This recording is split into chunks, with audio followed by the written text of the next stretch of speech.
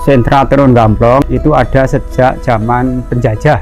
Zaman Jepang, zaman Belanda sudah ada. 98 itu uh, banyak terjadi uh, pergantian yaitu dari stagen ke serat alam kemudian tumbuh UKM-UKM yang ada di Gamplong ini yang menjadi uh, apa pertumbuhan ekonomi yang ada di Gamplong.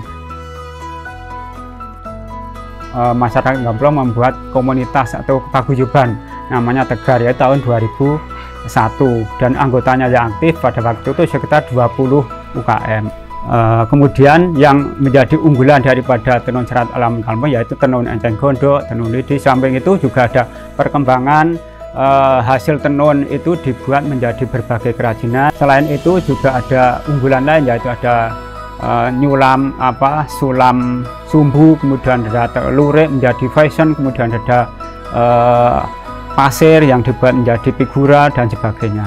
Untuk pasaran yang eh, di dalam negeri kebanyakan di daerah wisata yaitu di daerah Malioboro, Yogyakarta, kemudian daerah Bali dan sebagian juga Jakarta.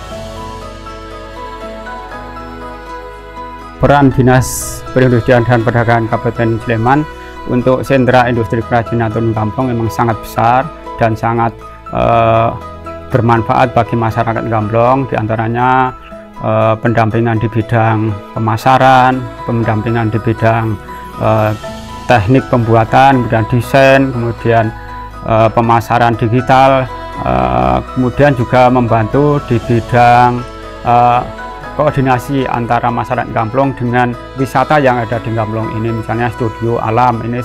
Terakhir ini dari studio film Gamplong tamu-tamu diajak ke Gamplong dengan menggunakan Gamplong Jeep Adventure. Yuk bareng-bareng produk Gamplong